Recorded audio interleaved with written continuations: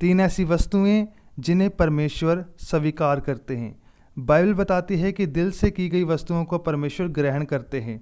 जब हम उत्पत्ति चार अध्याय, वचन चार को पढ़ते हैं तो उसमें लिखा है, और हाबिल भी अपनी भेड़ बकरियों के एक पहलोठे बच्चे भेड़ चढ़ाने ले आया कि उसकी चर्बी भेड़ चढ़ाई, तब यहोवा ने हाबिल और उसकी भेड़ को ग्रहण किया।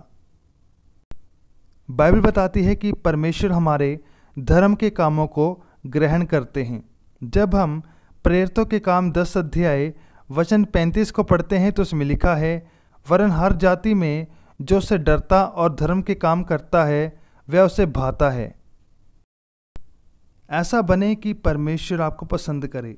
बाइबल में लिखा है, जब हम दूसरा ग्रंथियो चार अध्याय, वचन नौ को पढ़ते हैं तो उसमें लिखा है, इस कारण हमारे मन की उमंग यह है कि चाहे साथ रहे चाहे अलग रहें पर हम उसे भाते रहें।